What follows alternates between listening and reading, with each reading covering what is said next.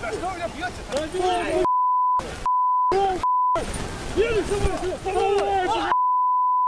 23 января я поехал на велопрогулку в центр Петербурга. И мой маршрут пролегал э, где-то вот от Дворцового моста. Ну, самое всякое интересное. Я проехал э, дальше к Исаакиевскому собору. В общем, прогуливался по всему центру, видел много людей, много полиции. Приблизительно часов в пять я оказался на площади Восстания, где увидел, как приехало много э, полиции ОМОНа, разогнали всех и освободили Стеллу и проезжую часть. Я проехал чуть дальше до улицы Гончарной и стал наблюдать дальше, что будет. Э, медленно ехал вдоль вокзала по проезжей части, потому что все тротуары заняты людьми, я на велосипеде, мне как бы неудобно там ездить, и вроде как я и не должен.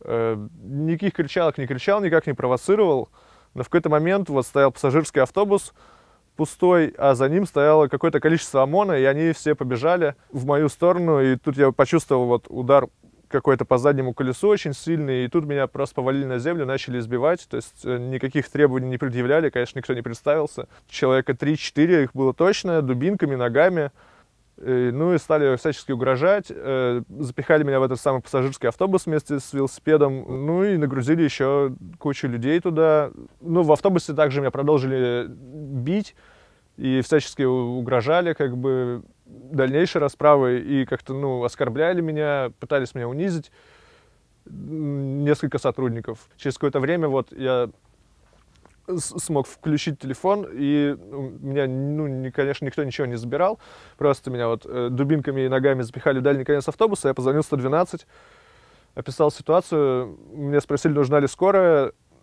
ну, я сказал, что нужна. То есть до этого ни полицейские никак не реагировали на то, что ну, мне больно, и, может быть, мне нужен врач. И, соответственно, я просил попить, мне тоже не давали. И ну, вообще со всеми задержанными обращались достаточно грубо, там кому-то приснули баллончиком в лицо сотрудники, ну и вели себя очень фамильярно, по-хамски, как бы, конечно, и очень угрожающе.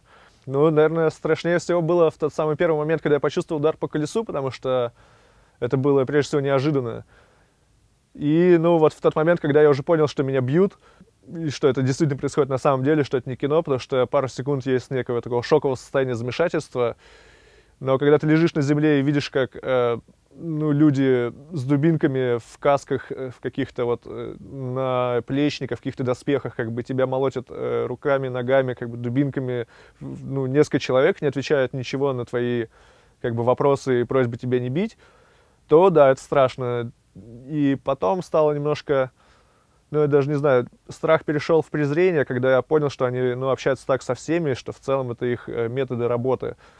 И через какое-то время приехала карета, выяснилось, что именно вот э, я вызывал, и меня выпустили к ним. Я кое-как смог забрать велосипед из этого автобуса, пристегнуть его там к столбу и поехал на скорой помощи в больницу. Медики зафиксировали у меня ушибы э, руки, ног в разных местах, головы, немножко спины. Мне делали рентген, оказалось, что кости не сломаны. Мне делали компьютерную томографию, слава богу, сотрясения нет, чему я очень доволен и очень рад. Но чувствую себя, конечно, не то чтобы прям хорошо.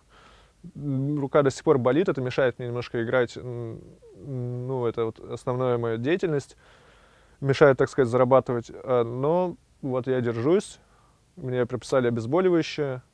Ну вот колесо не прокручивается до конца, застревает, при том, что полностью расслаблено все, полностью погнуто колесо. Э, ну и переднее тоже в целом совершенно неприемлемое. Конечно, мне хотелось бы добиться справедливости в этом вопросе.